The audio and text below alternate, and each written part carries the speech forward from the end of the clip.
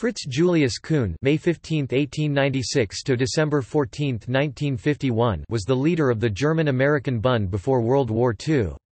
He became a naturalized United States citizen in 1934, but his citizenship was cancelled in 1943, and he was deported in 1945. He was an American supporter of the German Nazi government led by Adolf Hitler that ruled Germany from 1933 to 1945.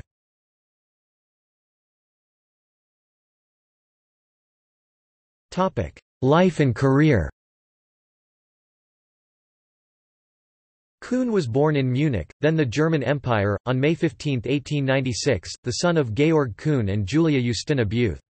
During World War I, Kuhn earned an Iron Cross as a German infantry lieutenant.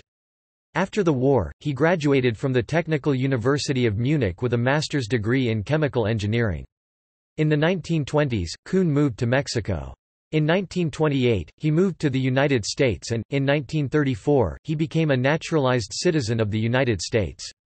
He worked at a Ford factory in Detroit before assuming control of the Bund in Buffalo, New York. In 1936, a congressional committee headed by Samuel Dickstein concluded that the Friends of New Germany supported a branch of German dictator Adolf Hitler's Nazi Party in the United States, and the Friends of New Germany disbanded. However, in March 1936, the German-American Bund was established in Buffalo as a follow-up organization. The Bund elected the German-born American citizen Kuhn as its leader. Kuhn, while describing the Bund as sympathetic to the Hitler government, denied that the organization received money or took orders from the government of Germany.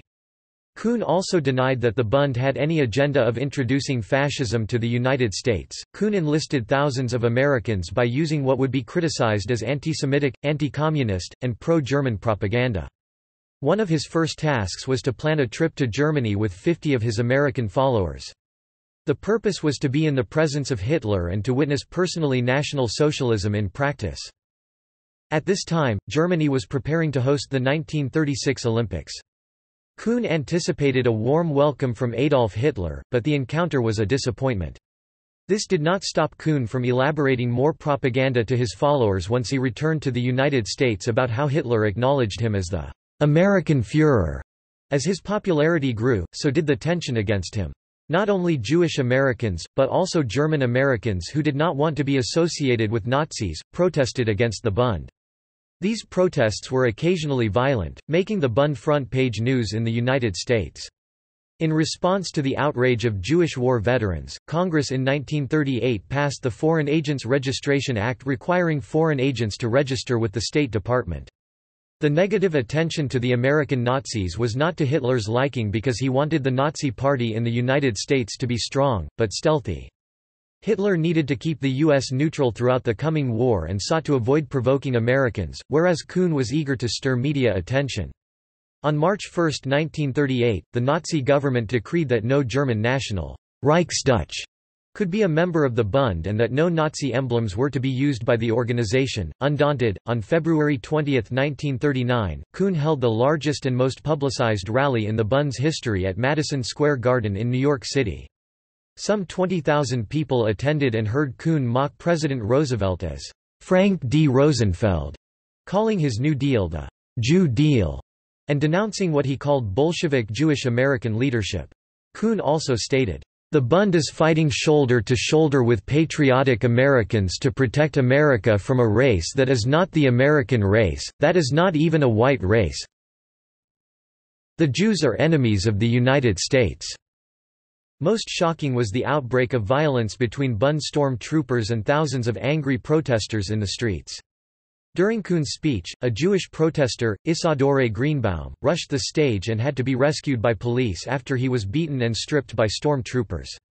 Later in 1939, seeking to cripple the Bund, New York City Mayor Fiorello LaGuardia ordered the city to investigate the Bund's taxes.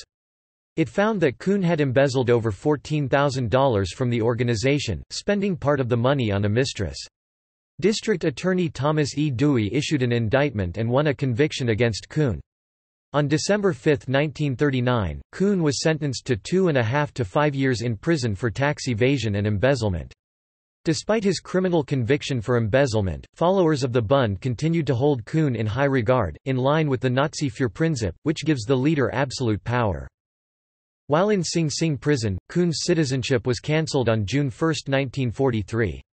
Upon his release after spending 43 months in prison, Kuhn was re-arrested on June 21, 1943, as an enemy agent and interned by the federal government at a camp in Crystal City, Texas. After the war, Kuhn was sent to Ellis Island and deported to Germany on September 15, 1945. Upon his arrival in West Germany, he wanted to return to the United States, but was imprisoned, then released shortly before his death. While in prison, Kuhn reportedly sent a message to Jewish columnist Walter Winchell, who had helped lead media counterattacks against the Bund back in New York City. It read, Tell Herr Winchell, I will lift to piss on his grave sic. He died on December 14, 1951, in Munich, Germany. The New York Times noted that he died a poor and obscure chemist, unheralded and unsung.